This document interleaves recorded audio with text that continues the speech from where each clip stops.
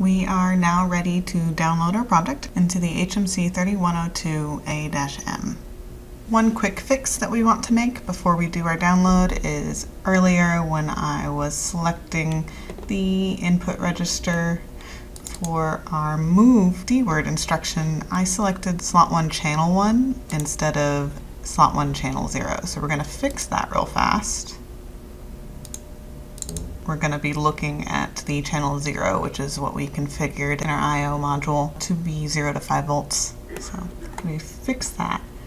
And then one thing that I like to do before I download is turn off the beeper.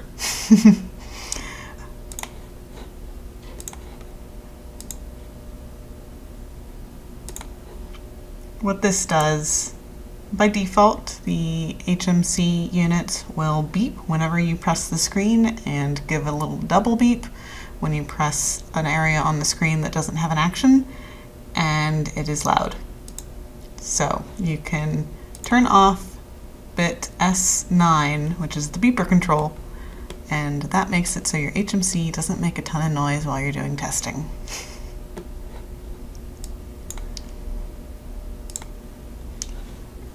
And now we are ready to download. I have connected my HMC unit with a USB cable.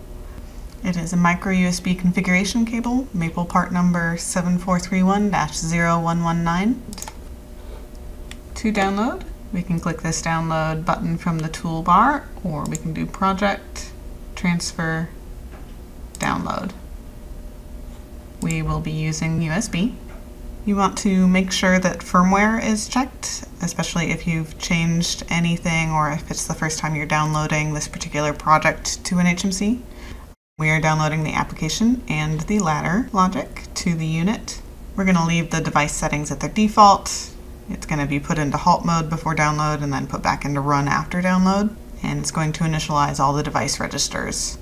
You can also download with a serial cable or over Ethernet. With Ethernet, you do need to make sure that your computer is on the correct subnet and can communicate with your HMC unit. Download. You can turn this message off for further downloads in the current session by just checking that box.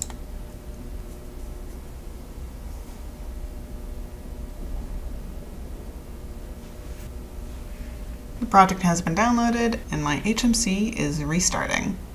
To install the HMC3 0808Y0401T module, remove the cover over expansion port 1 on the HMC 3102A-M. The contacts on the I.O. module are removable to make wiring easier.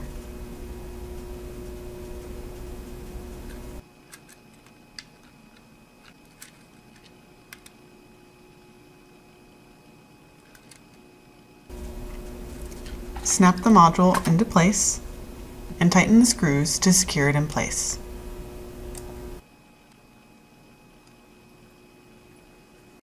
The wiring for your test setup should look something like this. And now we can run through our test procedure. First we want to toggle the output bits to verify that they come on from our digital inputs and output screen we are using the continuity function on a digital multimeter to verify that our outputs are coming on and off.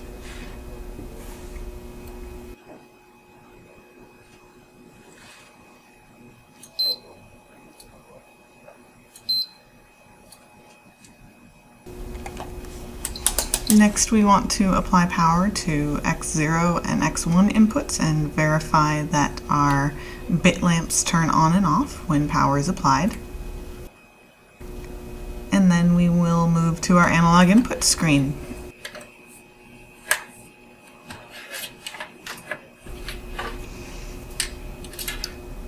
Once we've connected our analog power source to our I.O. module, we can vary the analog input and watch our scaled input change.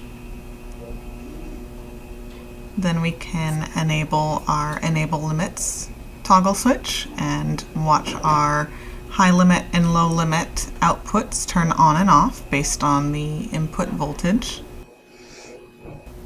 And then we can change our high and low limits as well as our engineering scales to verify that Y2 and Y3 toggle on and off at the new limits.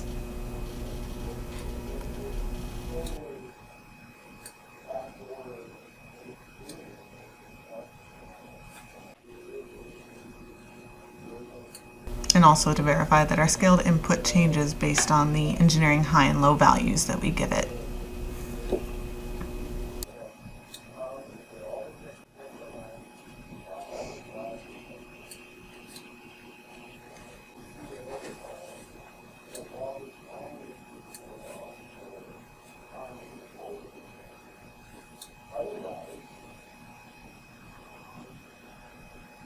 We can also verify that when the enable limits toggle is on, we are unable to manually toggle our Y2 or Y3 outputs, but when it is off, we are able to manually toggle those inputs.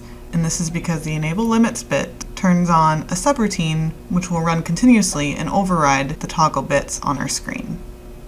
And this completes our first sample project with native ladder logic. Next, we will create a second project using the IEC programming environment.